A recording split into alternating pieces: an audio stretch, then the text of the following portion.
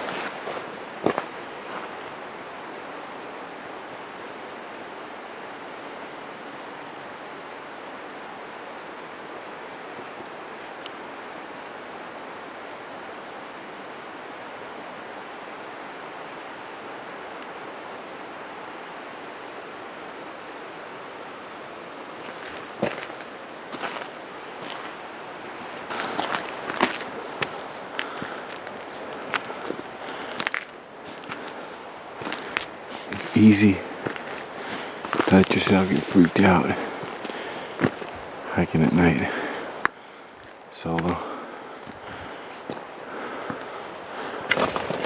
Okay, here's a cave. Actually, it's an old gold mine. Hey, bear. Hey, bear. I don't want to sleep. Bear come running in or out. Uh. Hey, Bear.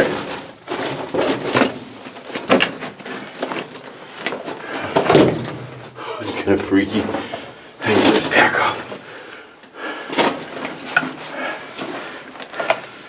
That's all I brought. My sock, seal pup. That's all I brought. Hey, Bear. No. think I'll sleep right here. Just clear this up. Home for the night. I want to be near the mouth. Because if there's some bad air back there, I don't want to go to sleep and then wake up. I want to be near fresh air. But not where if it starts raining, it'll pull up right there. It's not going to come up. It won't come down and come back up. It'll catch in all those small rocks. I should be fine right here. Let me sit up. Okay, there we got the 15. I don't think I'm gonna need it. It's pretty warm in here. But I got I brought this real thin bivy on the net because there's a lot of cave spiders in here. They're all over the place. Look at theirs. I'm not showing up. They're everywhere. Little red spiders, brown spiders. They're all over the place. They hunt at night, so I'm going to. Uh, get in there and zip that up real quick. So here I am using a natural shelter. Actually, it's man-made, but it's made over 100 years ago, over 150 years. Spiders all over there. Over 150 years ago, I think. And uh, solid rock. I'm not really worried about a cave-in. If it's my time, it's my time. the big one hits, big one hits. Not too worried about that jam pack, my boots, fuel, water, hat. net for that thing. I got my uh, tripod there. A little alarm in case something big tries to come through. I have my knife right here. Not that it's going to do much good, but I don't want to be a hot pocket. Okay, we're inside the net. The net sits from the inside, and then it cinches up with a little cord, a little bungee cord here, around your waist. Small stuff could get in if they tried, but it will keep the majority out. So I'm gonna try to get some sleep. I was beat driving up that hill, hiking in. I'm trying to get some sleep, so more in the morning. This is weird. Rarely have I ever been in such complete darkness. I can't see anything. It is weird.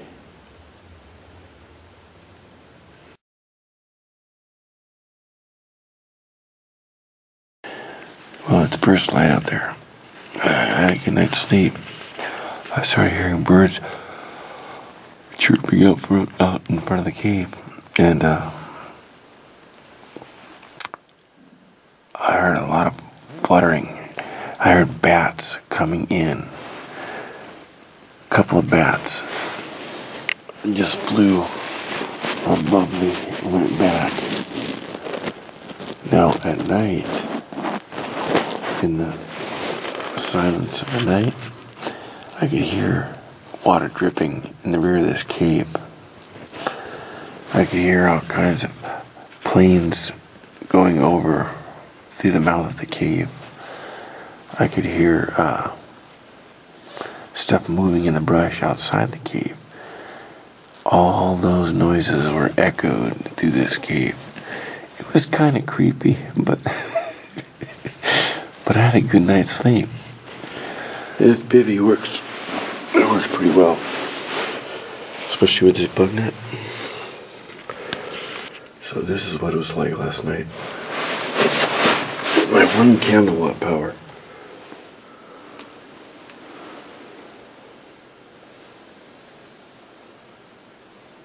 Not so bad. But as you can see back there, it's first light.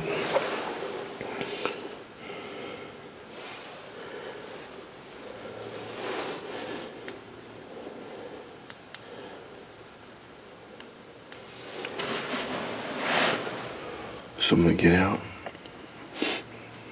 go for a hike, find a nice place to make breakfast.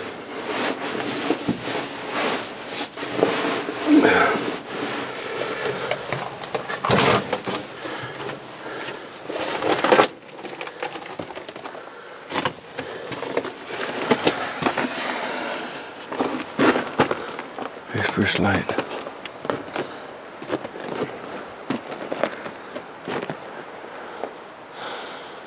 Didn't rain. Really moist. Out here, that's really wet. Back in here, packed up. I did see something bouncing around back the cave floor. Go check it out. I think a frog. Might have been a mouse.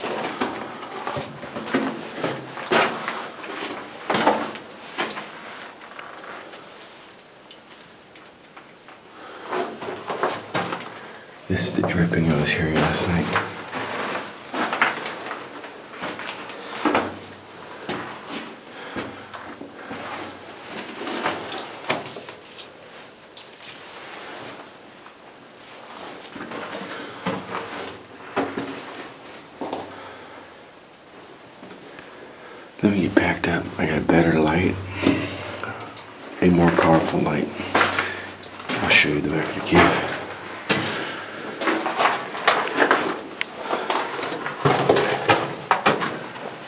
See, let me shut the light up.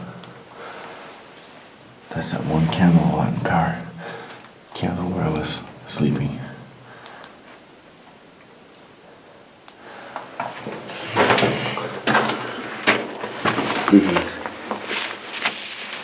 that big old rock sticking through. But with that, it wasn't bad. I could feel it, but it was down by my, by my ankle, so it didn't bother me. This is the one. This one and this one. My hips were right in between this. When I sleeping on my side, I alternated between here and here. I just was too lazy to get up, pull everything apart, and try to dig this rock out. Actually, it was loose. I could have just moved it. I Must have missed it.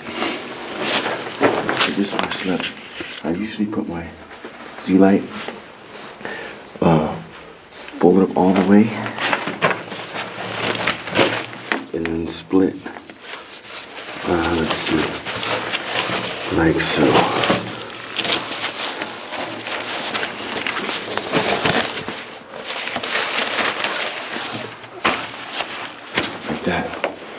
put that right up against my back. The uh, yellow side to the back so that he's not bouncing back. And so when it contours, conforms to my back, you got the open spot. They can fill you with uh, my sleeping bag or whatever. And it doesn't put pressure on it. Otherwise, doing it the opposite way. A friend of mine did it the opposite way and after a few hikes, the center split. But I'm going to put the outside now on the top because I'm going to use it when I go sit down and cook breakfast somewhere. Okay, this is the ThruNite TN36 UT. Look at this. Watch.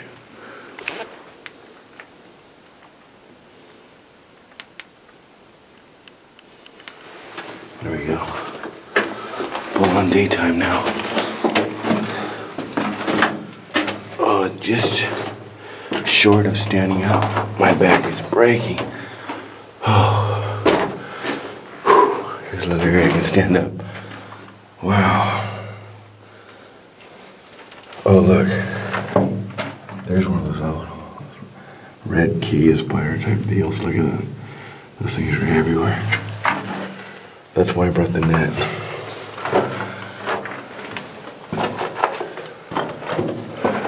I've been bit by enough things this year. There's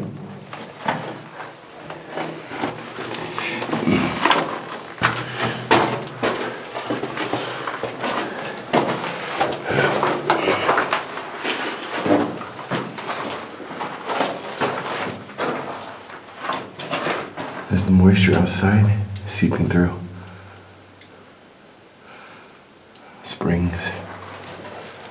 Combined the moisture coming down through the ground. They drip more in the morning. Towards afternoon it kind of slows down. But as you can see by the white stuff, it's continuous and it's stalactites. Small ones, but they're there.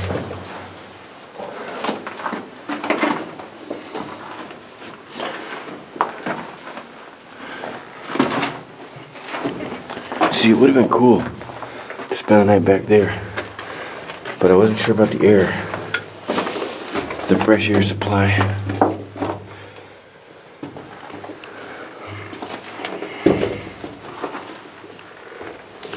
And besides that, if a, a bear or mountain lion did decide to come in, I'm close to the mouth of the cave, I stand a chance. It might walk past me, or in the struggle, I can get past it. But way back here, you're at the mercy of the dead end of the cave. So I gotta get out of here, and get some breakfast going, go for a walk in the fresh air.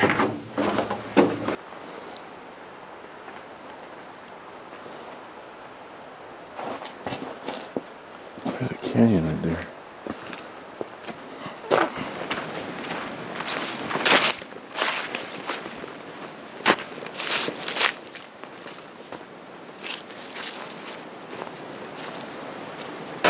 truck's downriver about a mile.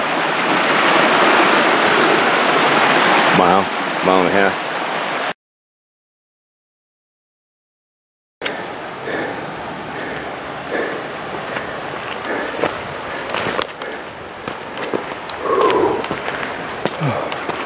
My hands are frozen. Got to this area, just spinning my boots. Couldn't get past it. I go up around through that bush, through that yucca. My hands are frozen. I'm back on the trail though. Not far from the trailhead either.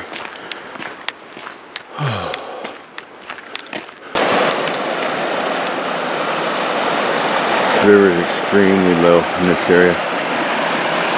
To give you an idea, you used to go from this rock here to that sand out there. Right here used to be about waist deep. Be excellent trout fishing. They were small, natural, but right there.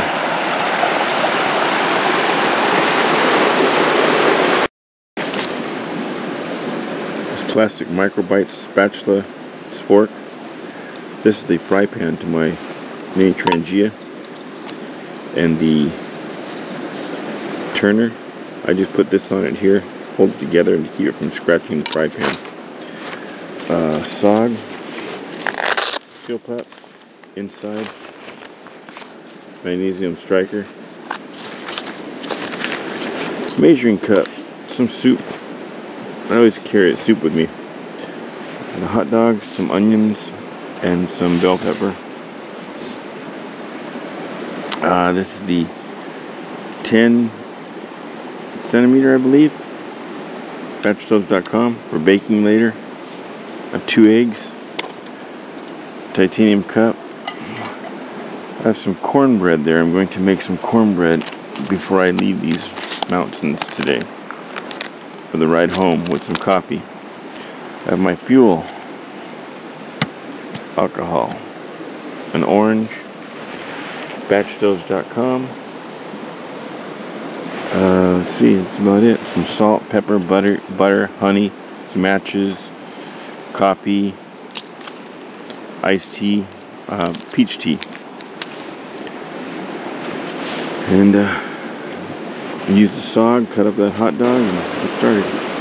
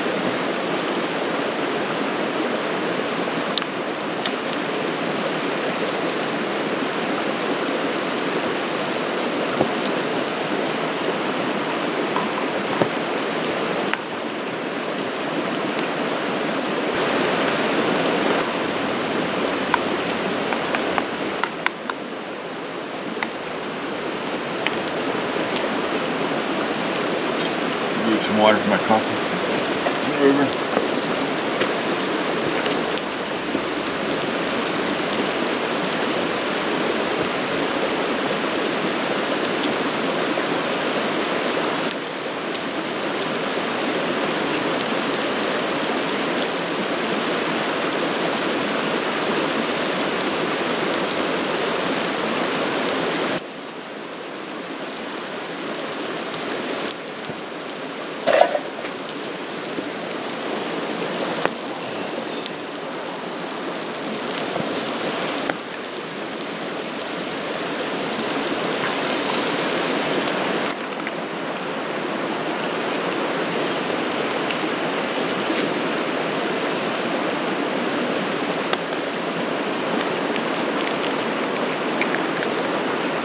MSR kettle, like I say, is going to be for baking with this later on.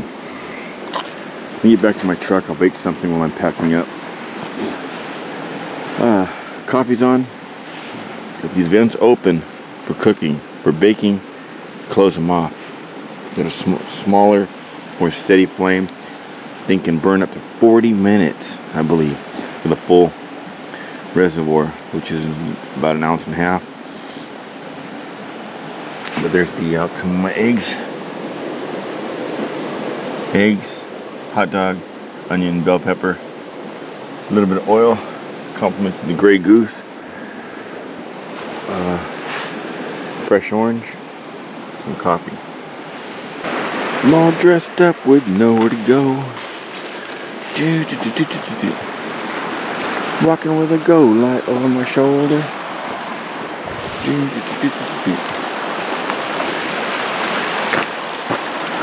Coffee to go.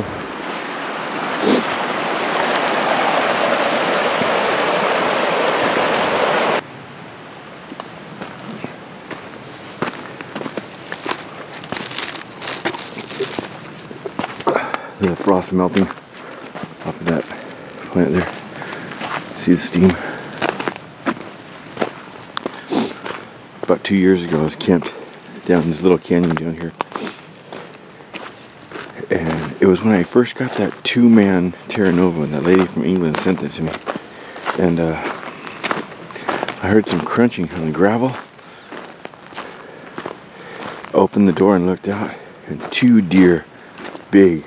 One had a big rack of horns. And uh, and walked past, shot canyons there. They walked right past me. I don't remember if I got my film or not. I have to look back at that video.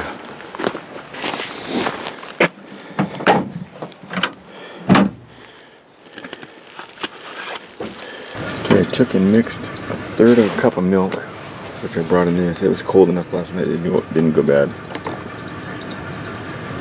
Two tablespoons of butter. I used two packs of Colonel Sanders butter and an egg. I mixed it in my coffee cup.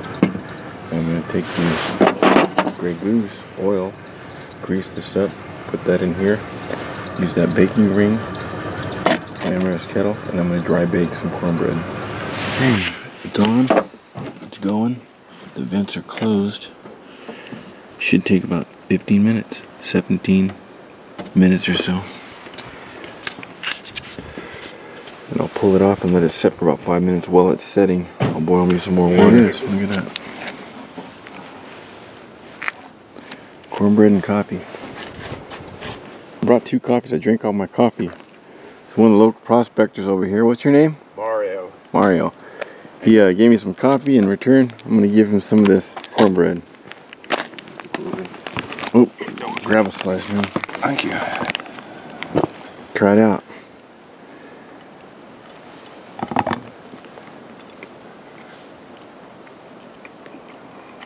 That's good. It's really good. One egg, two packs of butter, two packs of honey, some milk. Nice. Batchstoves.com. Link in the details below. Yeah, so met a new friend, Mario. He'll be joining me on my Uh, he's staying here for a few weeks, month, so he'll be joining us on the overnight at Heaton.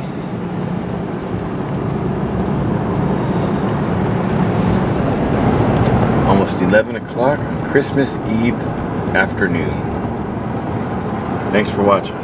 Sucker got me right here. Watch. A tick. Right there's where the tick got me. Somehow. Somehow got in my shirt right here. So when my arm was brushing past, I was feeling like there was a, a sticker or something. Turned out to be this little bastard. But if you look at him, I looked in real close under a uh, magnifying glass.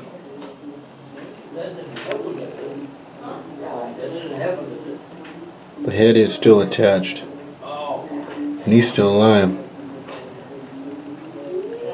The head's still attached, so as long as I clean it out with some alcohol, I should be fine. But meanwhile, this guy's gonna be toasted alive. Those coals are still hot. I was roasting some macadamia nuts.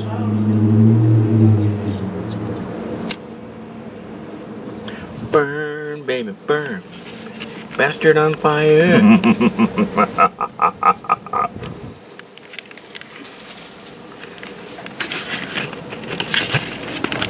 Even if he gets out of that, which I highly doubt, I gave him a pretty good pinch. Stunned him.